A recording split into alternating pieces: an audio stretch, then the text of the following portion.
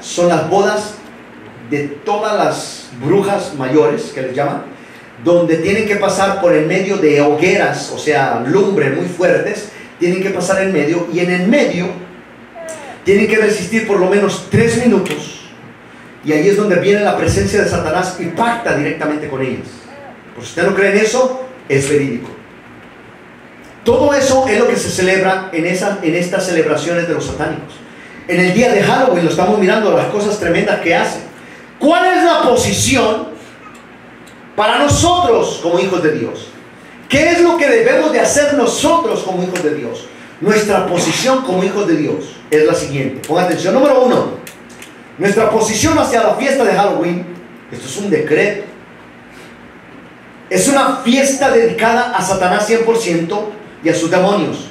Y no consideramos que sea una opción para divertirnos, ni para participar de las obras de las tinieblas, sino más bien reprenderlas.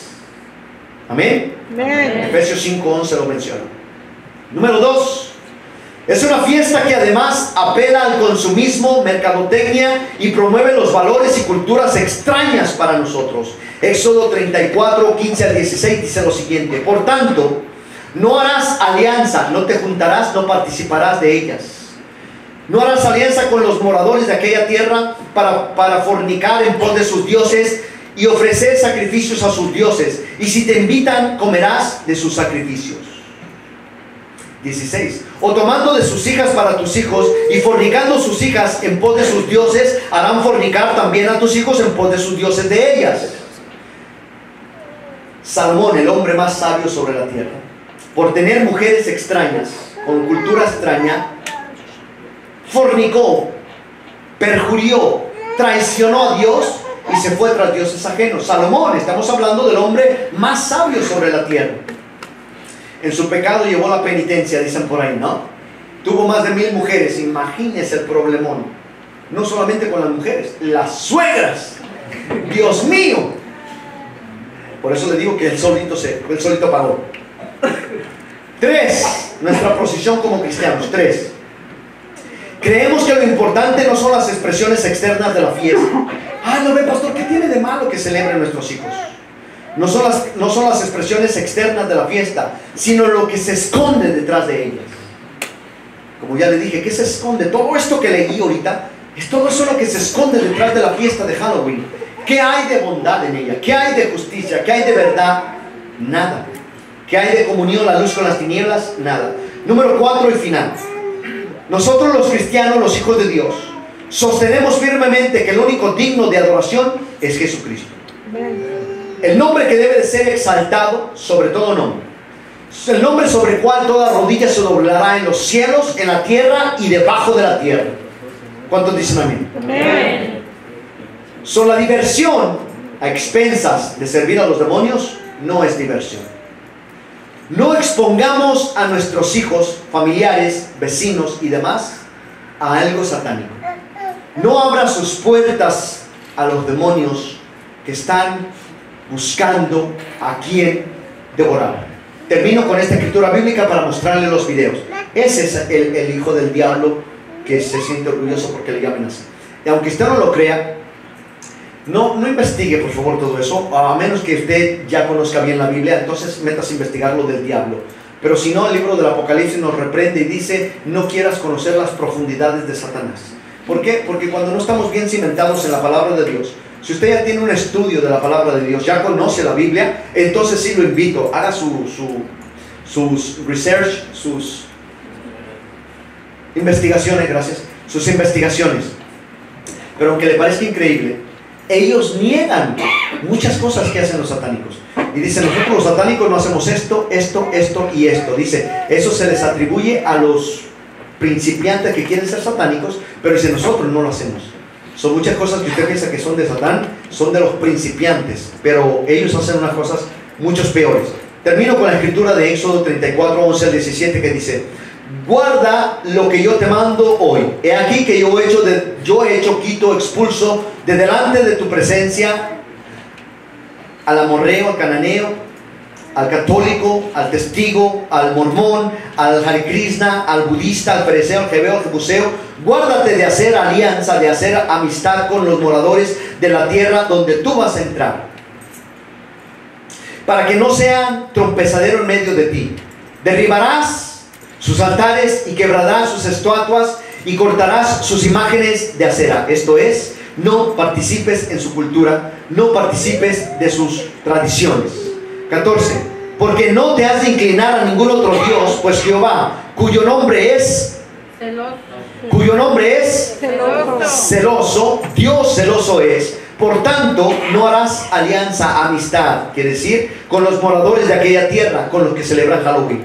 Porque fornicarás en pos de sus dioses y ofrecerán sacrificio a sus dioses y te invitarán y comerás sus sacrificios. O tomando de sus hijas para tus hijos y fornicando sus hijas en pos de sus dioses, harán fornicar también a tus hijos en pos de los dioses de ellas. Eso fue lo que le sucedió acá. Eso fue lo que le sucedió a Salomón, el hombre más sabio sobre la tierra. Y eso es lo que sucederá cuando usted permita que sus hijos se mezclen con las hijas del mundo. Por eso dice, no os unáis a yugo desigual. Y aún entre las iglesias hay yugos desiguales. Aún en los cristianos hay yugos desiguales. Hay quienes dice el marido, yo voy a la iglesia, venga lo que venga, aunque me sienta sin ánimo y la otra, no vayas. Mira, ¿para qué vas a la iglesia? Tanto te, ahí andas haciendo la barba al pastor. ¿Y qué? No me la hace usted. No. Reprende en el nombre del Señor Jesucristo. A lo que voy, amado hermano mío. Mujer, si tu hombre es entregado a Dios, dale gloria a Dios. Porque un hombre que no ama a Dios es imposible, es ineficaz, es inexperto y no sabe amar a una mujer. Igualmente, varón, si tu mujer ama a Dios, no la detengas. Porque el día que ella deje de amar a Dios, te va a dejar de amar a ti. Porque le va a ser infiel a Dios. Y la Biblia dice, ya se los he mostrado a los que estudian, te va a ser infiel a ti. El día que tu mujer, el día que tu mujer deje de amar a Dios, ese día no solamente le va a ser infiel a Dios, sino también, escúchalo bien, te va a ser infiel a ti. Por eso a los hombres de Dios no nos conviene que nuestras mujeres sean mujeres que no asisten a alabar a Dios. ¿Cuántos dicen amén? Gloria a Dios. Ahora vamos a pasar unos videos. Por eso es que los niños estuvieron aquí. Gloria a Dios. ¿Lo ven? Los niños son unos angelitos. ¿Cuántos dicen amén? Gloria a Dios. Pero les vamos a mostrar unos videos para que también ellos vean y que no piensen que es algo que ustedes quieren hacer o que el pastor le dijo que usted haga. Esta mañana nosotros estudiábamos eh, los dones y ahí encontrábamos ah, los caracteres de las personas y definimos un poco de lo diferente que es la manipulación. La manipulación de qué? De la dominación. De la dominación. Alguien que tiene dominio, porque el que tiene dominio propio, escúcheme bien esto, esto es importantísimo. La persona que tiene dominio propio tiene autoridad sobre otra persona. Domina su propio espíritu, domina a otra persona, porque tiene dominio propio, sabe dominarse. Eh, ¿Cómo sé que yo tengo dominio propio, pastor? Porque yo cuando me enojo, me enojo y tengo un carácter bien fuerte. No se llama temperamento, no carácter. Hay que conocer todo eso. Por eso le digo, el estudio es muy importante. Esta iglesia es una iglesia de revelación de parte de Dios y el estudio es una de las primeras cosas que Dios nos ha dado.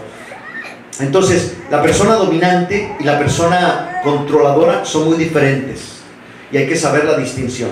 Si usted no lo sabe, lo invito entre semana. Vamos a ver estos videos. Yo voy a tratar de explicarle algunas cosas, si se puede, pero los videos van a hablar por ellos mismos. Pues vamos a empezar con un video de un propio, y está hablando un sacerdote, es verídico este sacerdote, usted lo puede hacer research en internet, ahora no se me vaya a convertir al catolicismo nuevamente, porque de ahí lo sacó el Señor, pero usted puede buscar este sacerdote en internet, no es el Padre Amaro, eh, y, lo va a encontrar. Y, y, mire lo que dice este mismo sacerdote acerca de Halloween, como también lo, tiene otro tema que menciona el diezmo, tiene otro, te otro tema que menciona eh, la idolatría, y él dice, estamos en contra de todo eso, pero la gente no lo pide. Y ahorita te lo va a decir y voy a hacer un espacio en cada video para explicarte lo que realmente dijeron, que a tu oído natural no entiende.